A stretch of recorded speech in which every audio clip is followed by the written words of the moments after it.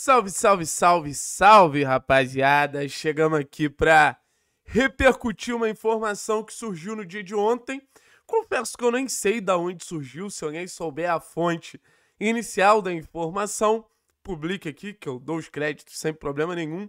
É que Nicão, um dos maiores ídolos da história do Clube Atlético Paranaense, encostado no Cruzeiro, pertencente ao São Paulo, ele tá infeliz.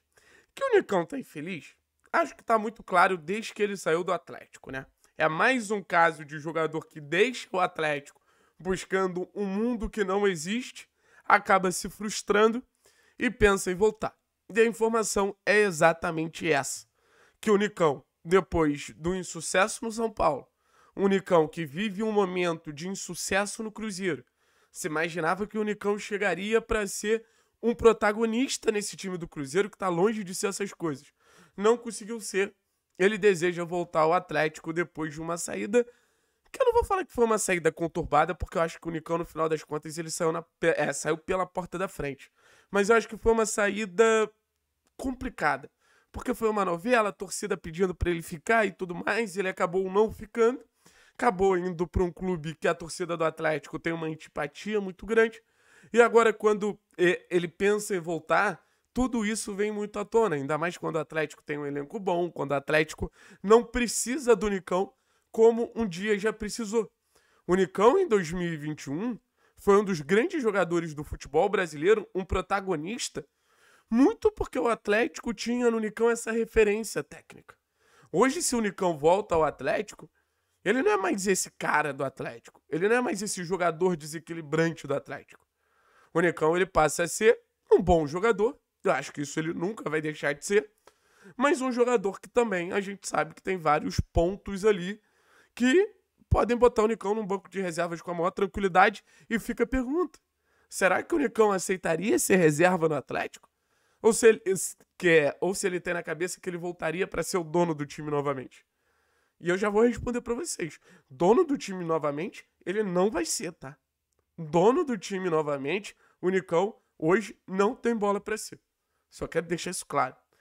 E eu vou explicar taticamente esse encaixe do Nicão, porque eu também acho difícil esse retorno nesse momento, ainda mais quando a gente muda de esquema e parece se encontrar em outro esquema.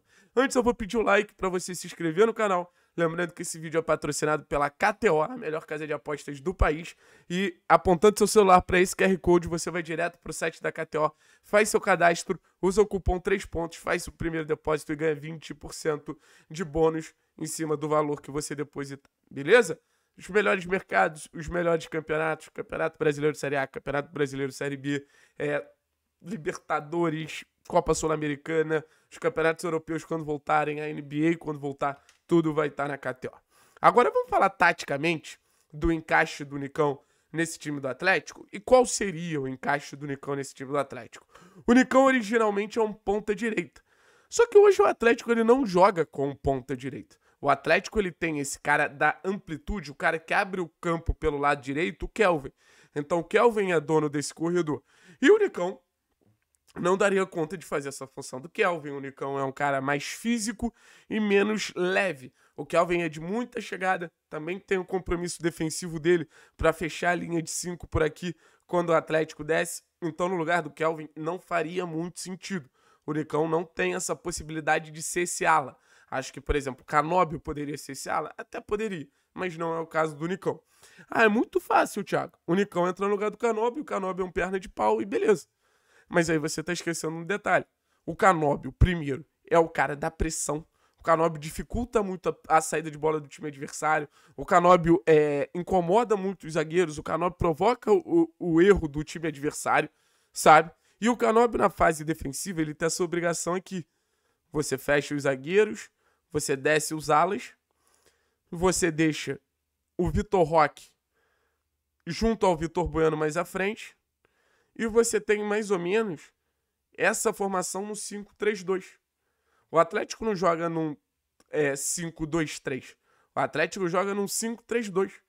E o Unicão, nesse processo de recomposição, de baixar a linha e de pressionar também, a gente sabe que o Unicão não é um cara que se sente confortável.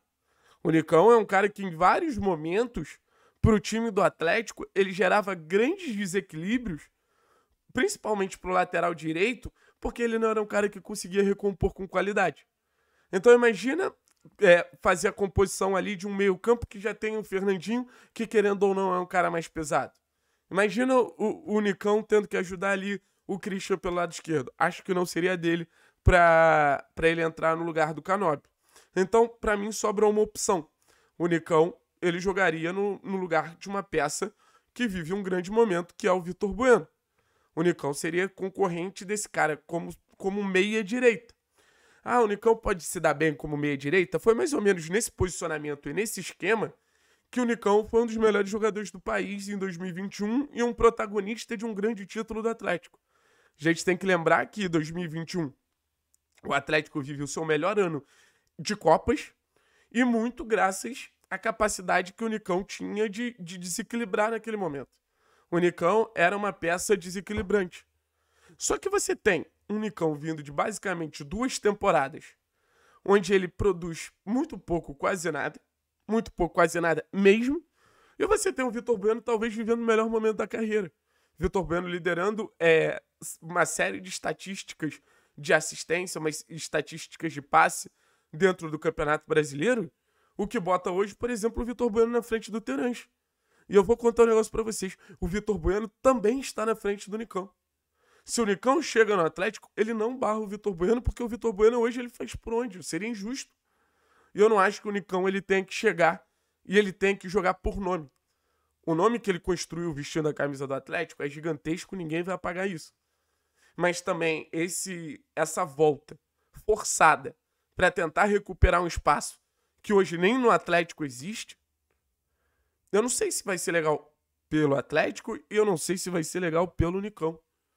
O Nicão é um grande cara, o Nicão é um ídolo, mas acho que o Nicão, a partir do momento que de 2021 para 2022, ele escolhe deixar o clube, ele também está optando que o clube siga em frente. E o clube seguiu em frente, se reforçou, contratou alguns jogadores para jogar até de uma maneira diferente. E esse time ele vem se encaixando. Imagina o Wesley recebe o, o, o Nicão hoje. Com obrigação de escalar o Nicão, o Nicão ídolo da torcida, Nicão ídolo do presidente. Aí vai ter que tirar o Vitor Bueno do, do time? Como é que será que o Vitor Bueno entenderia isso? Como é que será que o Pablo, amigo do Vitor Bueno, entenderia isso? Então hoje eu acho que trazer o Nicão pro Atlético é mais você trazer uma bomba de desconforto e pouca produção do que você pensar em trazer um cara que chegue para lutar pelo seu espaço. Se fosse para lutar pelo seu espaço, ele lutaria no Cruzeiro, ele lutaria no São Paulo, ele lutaria no Inter, que era um time que queria muito o Nicão. O Nicão ele tá querendo voltar para casa para controlar a posição que supostamente é dele. Só que o tempo passou, o Nicão parece que evoluiu, evoluiu e o Atlético evoluiu. Então, assim, é, se ele quiser voltar para ser um reserva, para ter um recomeço, acho maneiro. Mas voltar contando que vai ser titular, o Nicão ele não chega sentando na janelinha no Clube Atlético Paranaense, não. Pela história, com certeza mas pelo futebol que vem jogando nas últimas temporadas e pelo futebol que hoje vários jogadores do Atlético jogam, acho que não tem como, de verdade.